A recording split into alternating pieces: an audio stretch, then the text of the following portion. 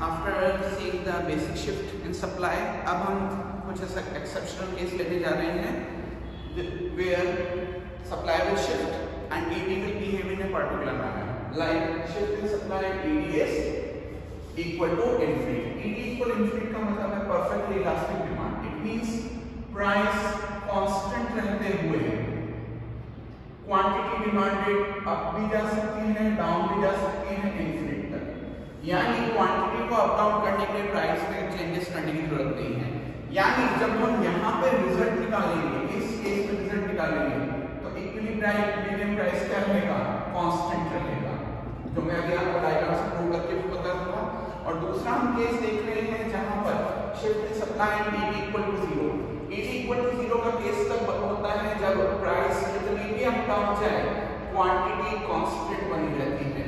तो इधर जब हम पूरा केस सॉल्व आउट इधर तो रहेगा इक्विलिब्रियम प्राइस कांस्टेंट और इधर हो जाएगी इक्विलिब्रियम क्वांटिटी कांस्टेंट ये मैं अभी आपको प्रूव करके बता दूँगा with both the diagrams and the theory तो यहाँ पर हमारे पास इनिशियल इक्विलिब्रियम है, जिसमें इक्विलिब्रियम प्राइस हो रहा है ओपी और इक्विलिब्रियम क्वांटिटी हो रहा है O2 ईडी का कर्व इंफिनिट पे बना है, इसके एमडी कर्व आपकी परफेक्ट स्ट्रेट लाइन है हॉरिजॉन्टल पैरा एक्स एक्सिस दोनों ही केसेस में अब मुझे यहाँ देना है increase in supply increase in supply के लिए मुझे देना पड़ेगा फॉरवर्ड शिफ्ट सप्लाई कर्व मान लीजिए हो गया ms1 forward shift in supply curve becomes ms to ms1 अब समझिएगा, पहले e पॉइंट में md was equal to ms अब आप कहोगे कि सप्लाई का जो फॉरवर्ड शिफ्ट हुआ है, यानी ms इंक्रीज हो गया।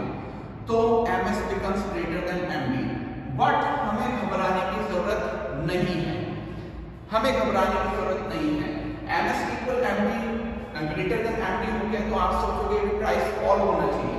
लेकिन नहीं बेटा प्राइस फॉल नहीं होगा। एग्जैक्टली क्या होगा? सीधे एम एमडी अपनी एमडी या मार्केट डिमांड सीधे इसी कांस्टेंट प्राइस पे इंक्रीज हो जाएगी।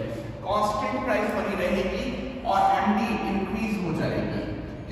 बार बार डिस्कस कर रहे हैं कि हमारा इस बार क्या है? प्राइस कांस्टेंट रहते हुए डिमांड किसी भी डायरेक्शन में शिफ्ट हो सकती है till infinite so new equilibrium point जो हमें मिलेगा न्यू इक्विलिब्रियम पॉइंट मिलेगा हमें E1 पर, ये E1 पर. अब आप देखेंगे इसके अकॉर्डिंग यहाँ OQ था, यहाँ OQ1 हो गया है. इस जगह इक्विलिब्रियम प्राइस OP ही है और इक्विलिब्रियम क्वांटिटी राइज होके कहाँ पहुँच गई? OQ1 पे यानी जो एक्स्ट्रा सप्लाई आई थी डिमांड उसके अकॉर्डिंग शिफ्ट हो गई और इक्विलिब्रियम अपने आप आ गया। तो ओवरऑल हमारा पहले इक्विलिब्रियम प्राइस चल रहा था बेटा। ओपी और अभी भी है ओपी यानी ये कांस्टेंट रहा। जबकि इक्विलिब्रियम क्वांटिटी जो हो गई बेटा, पहले थी ओ क्यू अब हो गई है बेटा ओक्यू यानी राइस करके और मैंने आपको बोला था इसमें इक्विलिब्रियम प्राइस कांस्टेंट रहेगा देखिएगा इक्विलिब्रियम प्राइस कांस्टेंट रहा केवल क्वांटिटी में चेंज है सेम वे डिक्रीज वाला केस सीख रहे हैं इनिशियल इक्विलिब्रियम की point equilibrium price OP equilibrium quantity OQ अब देना होते हैं मार्केट सप्लाई में डिक्रीज ये मैंने मार्केट सप्लाई को डिक्रीज कर दिया ms1 decrease in supply decrease in supply हुआ ms से ms1 की तरफ़ अब आप कहोगे सप्लाई कम हो गई डिमांड ज़्यादा हो गई तो अब प्राइस राइज होनी चाहिए बट प्राइस तो राइज हो ही नहीं सकती क्योंकि हम क्या कर रहे हैं? हमने डिस्कस कर लिया कि हम एक ऐसा ईडी पढ़ रहे हैं जो इंफिनिट इलास्टिसिटी शो कर रहा है यानी प्राइस में चेंज होना ही नहीं है। प्राइस चेंज नहीं होगा सीधे इसी प्राइस पे क्वांटिटी डिमांडेड फॉर्म में जाएगी और एक हमें नया इक्विलिब्रियम मिलेगा E1 पर। सो so, इस बार MS और MD में MD बड़ा होता है बट क्योंकि आपका डिमांड कर इंफिनिट इलास्टिसिटी शो कर रहा है। सो न्यू इक्विलिब्रियम E1 के ऊपर आपको इक्विलिब्रियम प्राइस वही ओपी मिलेगी और इक्विलिब्रियम क्वांटिटी ज़रूर गिर जाएगी OQ1 की तरफ़। टोटल अगर हम कहें इक्विलिब्रियम प्राइस पहले भी ओपी अभी भी ओपी यानी कांस्टेंट जबकि इक्विलिब्रियम क्वांटिटी जो है, वो हो गई क्यू से ओ क्यू वन जो कि हुई है फॉल तो आप देख सकते हैं, दोनों ही केसेस में मैंने आपको पहले ही डिक्लेयर कर दिया था कि आपका प्राइस जो है वो कांस्टेंट बना रहेगा, केवल क्वांटिटी फॉल या राइज करेगी, आप क्रॉस चेक कर सकते हैं। अब हम केस पढ़ रहे हैं इसका इनवर्स इस बार क्या हो रहा है? सप्लाई कर शिफ्ट हो रहा है बट ज़ीरो इलास्टिसिटी शो कर रहा है।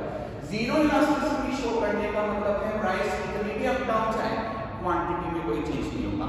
यानी इस पूरे फॉर्म का एक्सपेक्ट क्या निकलेगा? लास्ट में इक्विलिब्रियम क्वांटिटी कांस्टेंट बनी रहेगी। देखिएगा। इनिशियल इक्विलिब्रियम है ओपी प्राइस और ओपी के इंटरसेक्शन पे और हमारा ईडी एक वर्टिकल स्ट्रेट लाइन फॉर्म कर रहा है जो कि ईडी इक्वल ज़ीरो को शो कर रहा है अब मेरा मार्केट सप्लाई कर फॉरवर्ड शिफ्ट करेगा मुझे इंक्रीज इन सप्लाई मिल सके इंक्रीज इन सप्लाई हुआ फॉरवर्ड शिफ्ट हुआ एमएस से एमएस वन की तरफ़, जिससे एक्सेस सप्लाई का केस बनता है। एक्सेस सप्लाई का केस बनता है और एक्सेस सप्लाई प्रेशर की वजह से प्राइस फॉल करती है। प्राइस फॉल करेगी तो अब आप कहेंगे कि डिमांड इंक्रीज कर जानी चाहिए बट जैसा कि हमने डिस्कस किया था एडी इक्वल ज़ीरो का केस चल रहा है बेटा। एडी इक्वल ज़ीरो का केस होने का मतलब है प्राइस कितना भी अप डाउन जाए क्वांटिटी अपनी जगह सर्टन रहेगी। क्वांटिटी को कोई फ़र्क नहीं पड़ेगा। यानी प्राइस को फॉल किया, आप देख सकते हैं नया इक्विलिब्रियम P1 पे आएगा, जहाँ प्राइस हो चुका है P1 जो फॉल हो चुका है तो न्यू इक्विलिब्रियम पर न्यू इक्विलिब्रियम T1 पर इक्विलिब्रियम प्राइस रहेगा OP1 और इक्विलिब्रियम क्वांटिटी स्टिल OQ रहेगी अब ओवरऑल मैं अगर देखूँ तो पहले इक्विलिब्रियम प्राइस था मेरा बेटा OP अब हो गया OP1 जो कि फॉल को शो करता है। देखिए आप डायग्राम को देखेंगे मैंने आपको बोला था डायग्राम समझ में आ गया तो आज लड़ाई लड़ लिया अगर आपको डायग्राम में समझ नहीं आती खड़ी नहीं कर पाओगे आप। और equilibrium quantity OQ remain OQ यानी कांस्टेंट और मैंने आपको पहले ही क्लियर कर दिया था, इधर क्वांटिटी कांस्टेंट आएगी केवल प्राइस में चेंजेस आएँगे। आप देख सकते हैं मेरे केवल प्राइस में चेंज आया और क्वांटिटी कांस्टेंट बनी है। इसी चीज़ को हम जब डिक्रीज के केस पे पढ़ेंगे तो ये मेरा इनिशियल इक्विलिब्रियम का डिटेल है। अब मेरा एमएस बैकवर्ड शिफ्ट मारेगा बेटा ये एमएस को मैंने बैकवर्ड शिफ्ट दे दिया। एमएस को मैंने बैकवर्ड शिफ्ट दे दिया। एमएस बैकवर्ड शिफ्ट हुआ यानी डिक्रीज सप्लाई बेटा डिक्रीज इन सप्लाई होने की वजह से एमएस एमएस वन बन गया और एक्सेस डिमांड का केस बन जाता है। जब डिक्रीज इन सप्लाई होगा तो एक्सेस डिमांड का केस बनेगा। एक्सेस डिमांड के प्रेशर में प्राइस क्या होनी चाहिए? राइज होनी चाहिए। अब जैसे प्राइस राइज होगी तो डिमांड में या क्वांटिटी सेक्शन में कोई चेंज नहीं आएगा। बार बार डिटेल में बोल रहा हूँ बेटा ईडी इक्वल ज़ीरो है इसलिए क्वांटिटी साइड रिएक्ट नहीं करेंगे। न्यू इक्विलिब्रियम जो बेटा आपका आएगा न्यू इक्विलिब्रियम आएगा बेटा E1 के ऊपर। न्यू इक्विलिब्रियम आएगा बेटा आपका E1 पर। इस समय प्राइस राइज होके P1 हो जाएगी। P1 हो जाएगी। और आपका क्वांटिटी कांस्टेंट बना रहेगा। Equilibrium quantity still okay overall हम देखें इक्विलिब्रियम प्राइस ओपी से OP1 हुआ, जो कि राइस को शो कर रहा है, और इक्विलिब्रियम क्वांटिटी को हम देखें अगर तो OQ रिमेन OQ जो कि कांस्टेंट है। तो इधर दोनों केसेस में आपकी प्राइस कांस्टेंट रह जाएगी और क्वांटिटी भी चेंज होगा। जबकि इन दोनों केसेस के अंदर प्राइस चेंज होगी क्वांटिटी कांस्टेंट बनी रहेगी जो मैंने टॉपिक शुरू करने से पहले ही आपको डिक्लेयर कर दिया था। सो so, थ्योरी को अच्छे से समझिए डायग्राम को अच्छे से समझिए। दोनों के ऊपर मास्टर होना आपको ज़रूरी है तभी ये कंसेप्ट आप अच्छे से कर पाएँगे।